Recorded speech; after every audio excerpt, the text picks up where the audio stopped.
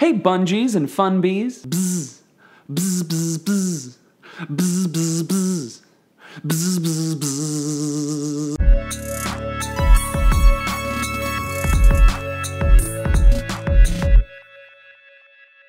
Everybody, my name is Jon and welcome to ADITW, a day in the Word, the internet's favorite Bible study. Hey. We are flying through our study of the Gospel of John, but today we're making a little bit of a pit stop in chapter 6. If you've been following this study, you know that we have been highlighting the seven signs and seven sayings of Jesus in the Gospel of John. And so far, John has been kind enough to sort of spread out those signs and sayings, you know, pretty much one per chapter. Well, that all ends today, friends. Here in John chapter 6, we read about two more signs or miracles of Jesus, and we get our first I am statement from Jesus. And so rather than try and cram all of those into one video, we're gonna take a pit stop here in chapter 6 over the next three weeks and talk about each of these passages individually. So without further ado, let's begin by reading John chapter 6, verses 1 through 15.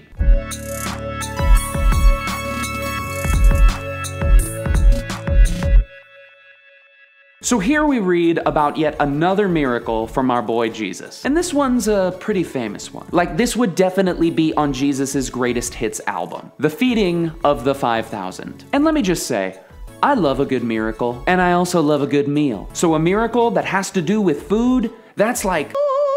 So, in this passage, Jesus and his disciples are presented with a problem. They have a crowd of hungry people and they don't have enough food to feed that crowd with. This is my wife and mother in law's worst nightmare at every family party that we throw, and so they just overshop every time. However, in this instance, it would seem that the disciples don't quite have the gift of hospitality that the women in my family do, and so they start to brainstorm. And the best solution that they can come up with is to borrow, aka steal. They take the lunch of a small boy who has about five loaves of bread and two fish. And Jesus' disciple Andrew kind of calls it like it is in verse 9 when he says, But how far will they go among so many? And isn't this exactly how so many of us feel about the good that we try and do in our lives? Don't you kind of look at the problems of the world and just feel powerless to do anything about them? Maybe you've noticed that there's a big bullying problem at your school, and there's a bunch of kids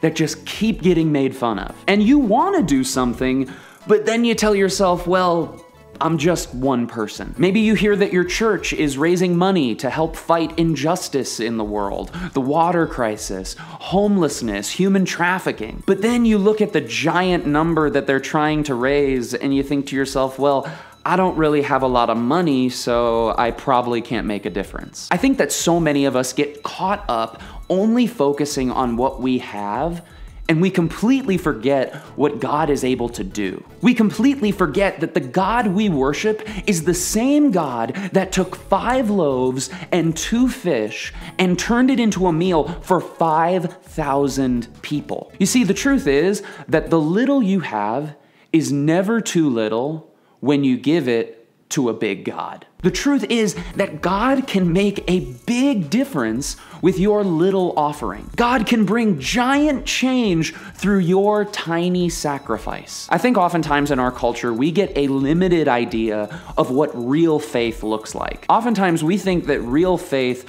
only looks like making some big, dramatic change or decision, or giving some big gift, or starting some giant project that's gonna change the world.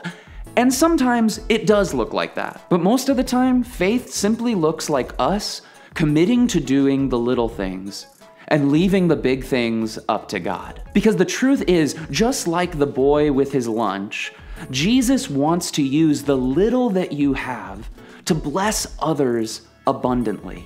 You don't need to have a lot, you simply need to give a little. And so I wonder what small offering you could bring God today. I wonder if you could find the courage to have one conversation or, send one text to a friend or someone you know who's going through a difficult time. I wonder if you could make a commitment to pray to God for five minutes a day and trust that God is going to multiply that time to make a big difference. I wonder what small thing you could bring to God, or, or, what small action you could take today. And if Jesus is truly able to take five loaves and turn them into 5,000, then I just wonder what he could do through your offering, no matter how small. Hey friends, thank you so much for watching this week's episode of ADITW. If you liked it, please give it a like. Don't forget to subscribe to the channel and tune in next week because we have a big announcement coming. That's all I have for you. I love you all. Keep being awesome.